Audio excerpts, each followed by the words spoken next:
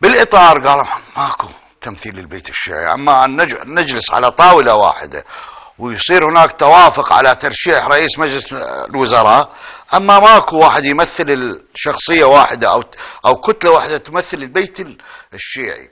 فلذلك بعد يعني بعد ال ال ال الاجتماع الإطار التنسيق من عدة كتل. نعم. اجتمع الاطار التنسيقي في عدة آه، كتل. حقيقة لاحظنا ال- ال- ال- التيار الصدري انسحب عن السباق السياسي وعن نعم. الساحة السياسية وتوجه إلى العزلة السياسية. يعني نعم. بقى قاعد والاطار التنسيق الناس مضم بال- بالإجراءات و ومشوا عن يرشحون رئيس مجلس النواب. اليوم تعاد الكرة في في في البيت السني بنفس السيناريو. ال- التقدم يقول أنا ال 42 نائب أنا الأغلبية السنية الموجودة أما الباقي ليس لهم حق الترشيح وهذا تصريحهم طبعا نعم. مو كلامي هذا كلام لا فعلا هو البارحة قال قال من هذا الحق كلامهم القوى يعني حسب ما- بأنه حسب ما سمعت من تترأس الإعلام ح- يقول لك نعم. إحنا من حقنا إحنا من حقنا نرشح رئيس مجلس النواب وليس من حق الآخرين، ليش؟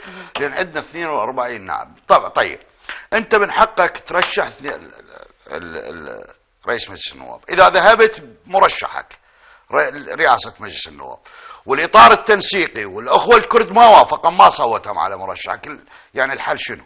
يبقى منصب منصب ال- ال- السنة اللي هو الاستحقاق السني يبقى بدون بدون مرشح بدون نعم، خل- خلينا لازم لازم. لازم تصير إجراءات لازم تجلس على على على طاولة مفاوضات حتى نعم. لا لأن بالمستقبل استداره بالمستقبل السياسة ما تنتهي اليوم خلاص هذا نعم. يوم كرسي رئاسة مجلس النواب خلاص بعد ماكو نعم. بعد شنو أنت أكو انتخابات بعد سنة ونص أكو تحالفات نعم. قادمة أكو أكو استحقاقات قادمة لازم يكون لملمة للموضوع نعم. مو والله اليوم أنا أحصر نفسي بال بالكرسي وخلاص أستاذ سليمان خليني أنتقل ه- للتقرير اللي عندنا حتى نكون صورة واضحة وأيضا راح تعلق عليه حضرتك وأيضا أعود لك أستاذ باسل آه، لمداخلتك لكنه خلينا نشوف هذا التقرير.